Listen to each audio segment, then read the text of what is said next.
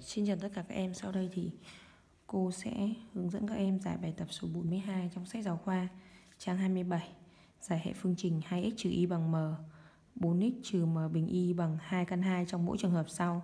Chúng ta có trường hợp A m bằng trừ căn 2, B m bằng căn 2 và C m bằng 1. Thế thì ở đây chúng ta sẽ thay m vào từng trường hợp m vào hệ phương trình sau đấy chúng ta giải cái hệ phương trình đó. Vậy chúng ta có lời giải chi tiết. Chúng ta có lời giải chi tiết như sau.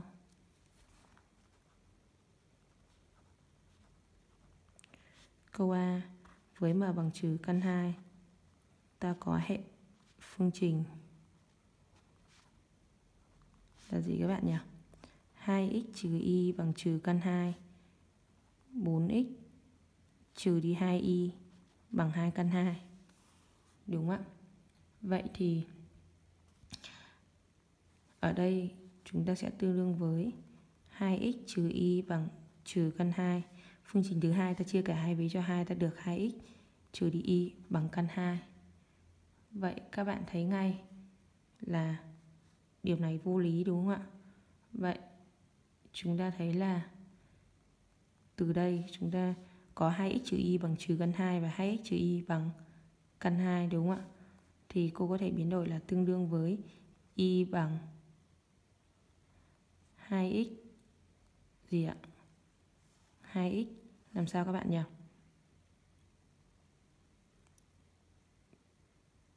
Cộng căn 2 ở dưới là y bằng 2x trừ căn 2. Vậy nếu cô gọi đây là đường thẳng D và đây là đường thẳng D phải thì ta thấy D song song với cả D phải Vậy hệ phương trình. Vô nghiệm đúng ạ. Đến câu B, với m bằng căn 2 ta có hệ phương trình. Là gì ạ?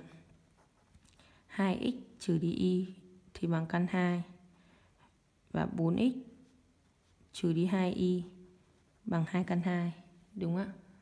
Vậy các bạn thấy ngay, Chúng ta sẽ tương đương với 2x trừ đi y bằng căn 2 Phương trình thứ hai chia cả hai vế cho 2 ta được 2x trừ đi y bằng căn 2 Vậy tương đương với y bằng 2x trừ căn 2 Dưới là y bằng 2x trừ căn 2 Vậy nếu gọi đây là đường thẳng D Và đây đường thẳng D phải Thì ta thấy D trùng với D phẩy, đúng ạ? Vậy, hệ phương trình có vô số nghiệm.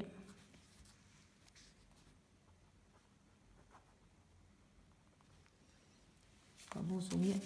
Bây giờ đến câu C. Thì các bạn có là với m bằng 1 ta có hệ phương trình là gì ạ? 2x trừ y bằng 1 4x trừ đi y bằng 2 căn 2 đúng ạ. Vậy chúng ta thực hiện là gì ạ? Lấy vế, với vế của hai phương trình này trừ cho nhau thì thu được là trừ 2x thì sẽ bằng 1 trừ 2 căn 2 và cô viết lại là 2x trừ y thì bằng 1 vậy nó sẽ tương đương với là gì các bạn nhỉ? X của chúng ta sẽ bằng 1 trừ 2 căn 2 trên trừ 2 và y của chúng ta bằng 2x trừ 1. Vậy tương đương với việc x sẽ bằng 2 căn 2 trừ 1 trên 2. Y sẽ bằng 2 nhân 2 căn 2 trừ 1 trên 2 trừ đi 1. Vậy tương đương với việc x sẽ bằng 2 căn 2 trừ 1 trên 2. Y sẽ bằng là gì ạ? Bằng là gì ạ? 2 căn 2 trừ đi mấy ạ? Trừ 2 đúng không ạ? Vậy, hệ phương trình có nghiệm duy nhất là gì các bạn? 2 căn 2 trừ 1 trên 2 và 2 căn 2 trừ trừ 2. Vậy cô và các bạn đã giải xong Bài tập số 42 sách giáo khoa trang 27